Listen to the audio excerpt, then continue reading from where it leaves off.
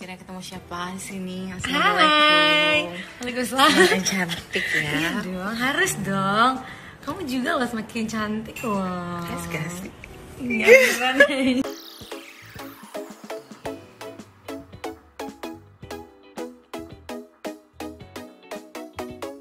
Millen Cyrus yang mengaku kini sudah menjadi perempuan meskipun tak setuhnya karena dirinya tak melakukan operasi plastik di kelamin, Millen Cyrus mau punya anak sendiri. Nikahi cewek, habis itu cerai, kemudian dirinya ingin nikahi cowok sesuai dengan keinginan hatinya. Millen tak peduli dengan kontroversi yang ada di netizen bahkan jadi pro dan kontra dirinya ingin menjadi diri sendiri.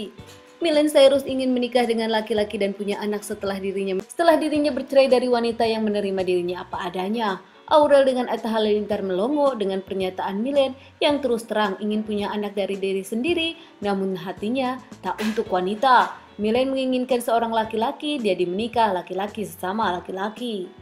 Meski dirinya punya penghasilan sendiri dan bekerja kini, namun Milen mengaku dirinya ingin punya suami kaya.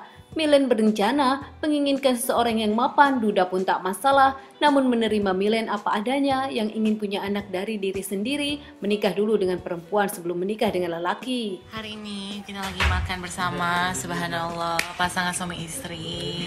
Tuh, Milan kapan nyusul? segera.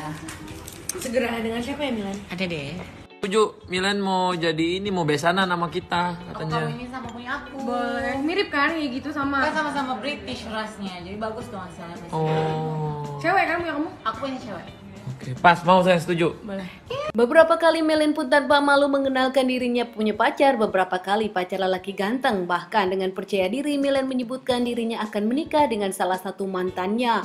Meskipun banyak yang komentar jelek terhadap Milen di sosial media, Milen tak peduli. Yang penting keluarga sudah menerima dan juga sang ibu sudah mengizinkannya. Keponakan Asanti ini sempat dimusuhi oleh Asanti yang tak terima Milen menjadi seorang perempuan bahkan beberapa kali Milen membuat keluarga malu.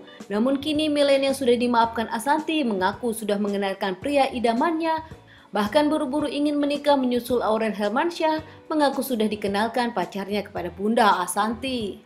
Milen Daru atau Milen Cyrus dilahirkan dan dibesarkan sebagai seorang laki-laki namun berubah jadi perempuan setelah dirinya dewasa dan punya uang.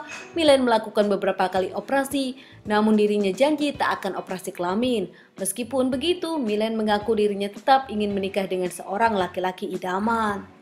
Ini aku nggak pakai filter, nggak pakai apa-apa. Ini udah selesai treatment. Bener-bener bagus banget, jujur ya.